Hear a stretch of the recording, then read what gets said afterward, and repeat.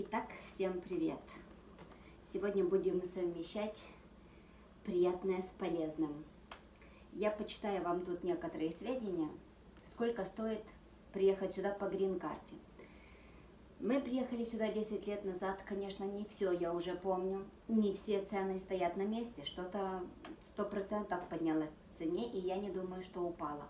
Но есть люди, которые подсчитали, ну и вот они приблизительно новые такие подсчеты, еще не устаревшие. Если будут какие-то замечания с моей стороны, если я что-то буду как бы в состоянии помнить или знать, что происходит в данный момент, я тоже расскажу вам эту ситуацию. Присоединюсь. Значит, итак, вы выиграли грин-карту.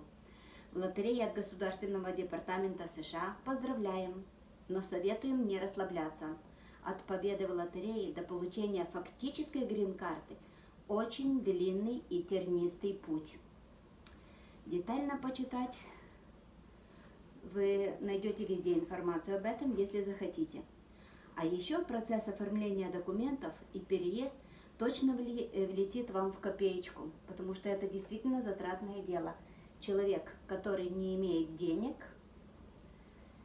я даже не знаю, сможет ли он просто сюда попасть, даже по той же бесплатной грин-карте.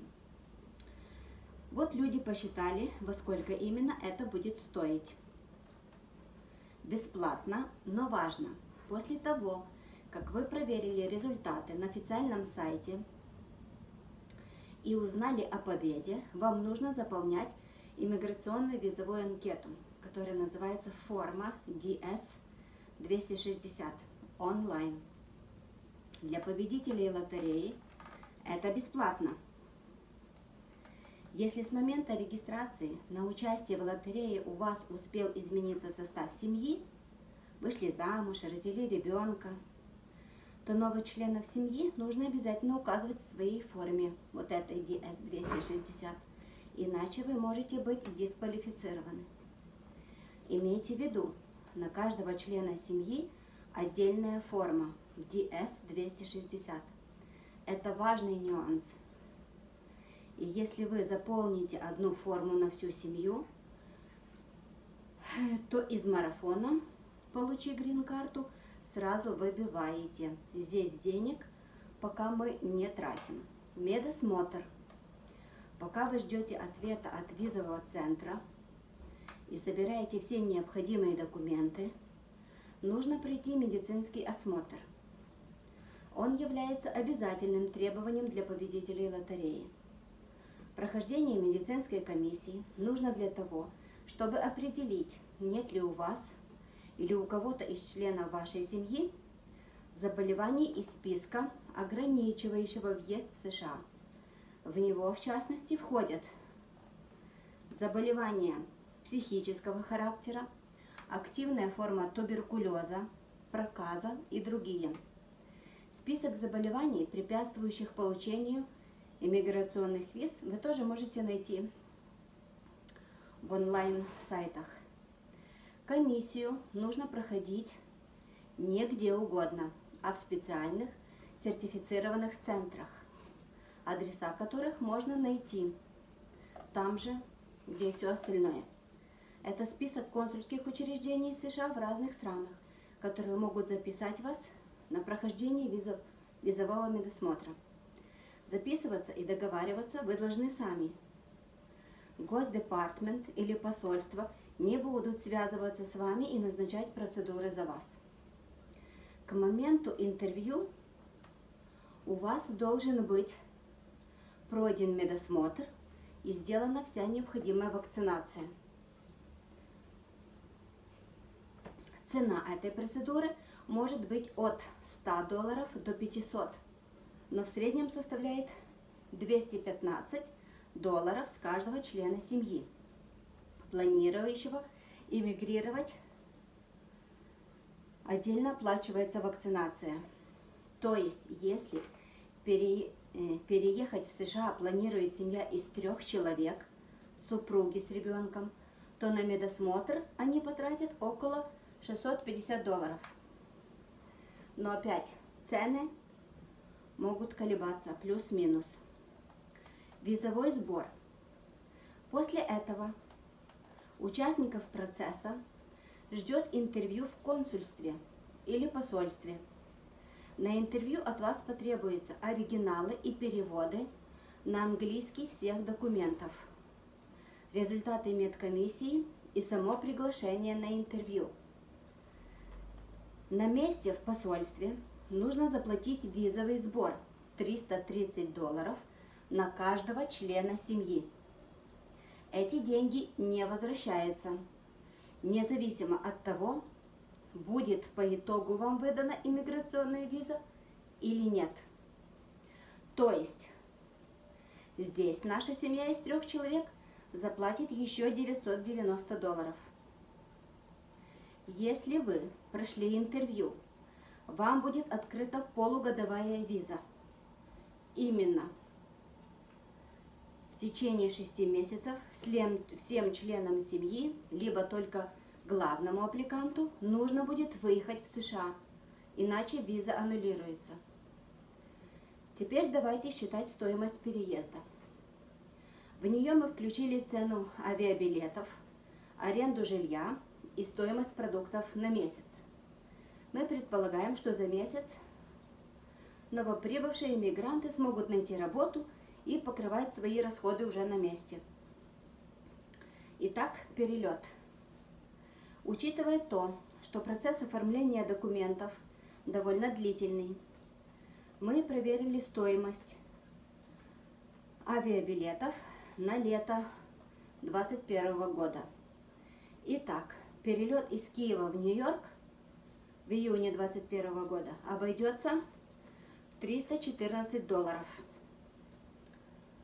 Ну, видно, когда они писали эти цены, тогда еще не было проблемы с ковидом. И перелеты были совсем другие, и цены тоже. Так что на это лучше внимания не обращать. Но отталкиваться от этой цены можно. 314 долларов это в один конец. Когда-то была такая цена.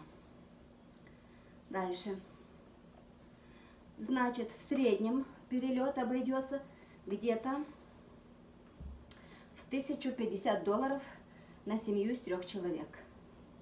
Разумеется, все это приблизительная цена, поскольку в течение времени она может измениться. Кроме того, из-за охватившей мир пандемии, ну вот это о чем я говорю. Не все авиакомпании предоставляют данные своих, о своих перелетах. Также можно попробовать вылететь из других городов и прилететь не в Нью-Йорк. Эти данные мы привели в качестве иллюстрации приблизительной стоимости билета. Жилье. Мы рассмотрели среднюю стоимость аренды квартиры с одной спальней. Это значит one bedroom. Экономный вариант для семьи из трех человек. В городах, куда чаще всего переезжают русскоговорящие иммигранты. Значит, э, цены за квартиры они тут дают за 2020 год. В Чикаго, one bedroom, в Иллинойсе, где-то 1100 в месяц. В Лос-Анджелесе 1360, та же квартира. В Майами 1090, Нью-Йорк 230, Сан-Диего 1580, Сан-Франциско 2440. Сиэтл 1360. Вашингтон 1300. В среднем выходит около 1400 за месяц. Имейте в виду, что при аренде жилья в США в большинстве случаев необходимо оплатить не один месяц, а два. Первый и последний.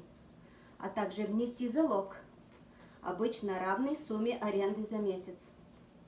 Вам его вернут, когда вы будете съезжать, если вы ничего не сломаете в квартире. В сводной таблице расходов мы просто указали стоимость месячной аренды без залога и оплаты последнего месяца. Но в реальности вам, скорее всего, стоит добавлять к сумме аренды еще пару тысяч долларов за эти взносы. Тут же стоит понимать, что если выбрать город поменьше и в менее дорогих штатах, то стоимость аренды будет ощутимо ниже. Но с поиском работы может быть сложнее. Продукты. Департамент сельского хозяйства в США регулярно публикует отчет о средних расходах на питание американских семей. Согласно этому документу, многое зависит от возраста детей и взрослых и их привычек в питании. Но в любом случае в семье из трех человек меньше, чем 500 долларов в месяц вложиться не удастся. Ну, здесь я бы поспорила. Можно питаться и дешевле, хотя бы первое время. И я думаю, что некоторые семьи так и делают. Из трех человек 500, это значит жировать. Можно чуть-чуть и подтянуть ремешки. Так, добавляем сюда транспорт, интернет и какие-то незапланированные траты. Это еще 160 долларов в месяц, если, подходит, если подходить к делу экономно. Грин-карта.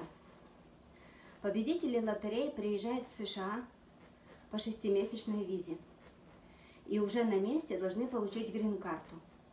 За оформление этого документа организация USCIS возьмет по действующим расценкам 220 долларов. Но ожидается, что они возрастут. Это еще 660 долларов с нашей семьи. Если на момент выигрыша вы уже находитесь в США, то миграционные документы по смене статуса обойдутся вам дороже но при этом у вас, вероятнее всего, уже решен вопрос с жильем, работой, и вам не нужно никуда лететь.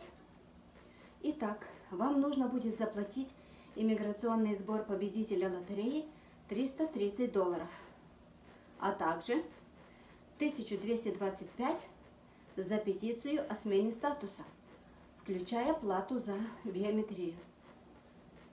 Для ребенка в возрасте до 14 лет плата за смену статуса составляет 750 долларов. Если заявка подается вместе с петицией родителей, биометрический сбор не взимается. По итогу получаем суммы, которые мы отобразили в этой инфограмме. Вот они здесь дают все вот эти услуги, которые я перечислила, с одного человека это будет стоить примерно 1600 долларов. С семьи из трех человек это будет примерно 4200. Опять же, плюс-минус, никто никогда вам не скажет, сколько это будет лично стоить вас. Так что, а стоит ли ехать или не стоит тратить вот эти деньги – это дело каждого. Я читаю тут некоторые в сетях высказывания, что люди живут здесь по 20 лет и живут в таком дерьме. Другие живут 15 в дерьмище. Люди, какое вы себе дерьмо нашли, в таком и живете. Из дерьма всегда можно сделать конфетку, если захотеть. Говорят некоторые, что страна ужасная, но не думает отсюда даже никуда уезжать. Если вы будете ненавидеть эту страну, это дерьмо, оно будет вам, извините, вонять еще больше. Зачем себя мучить? Зачем мешать жить себе и окружающим? Правильно? Так, такой человек, которому кажется, что вокруг него одно дерьмо, никому добра не приносит и удовольствия. Если эта страна не для вас, ищите что-то другое. Всегда можно найти. Возвращайтесь домой. И это здесь не вы одни, которые это сделаете. Так что ситуация, конечно, меняется. Бывало лучше, бывало хуже. Может быть, всякое еще впереди. Но терпеть не стоит никакие деньги. Лучше ценится в руке, чем журавель в небе. А думайте все остальные. сможете продержаться, сможете выплыть из дерьма, потому что трудно это да. Значит, тратьте деньги, если они у вас есть. Если нету, одолжите и дерзайте. И все у вас будет хорошо. Главное иметь цель и стремиться к ней с энтузиазмом. Все.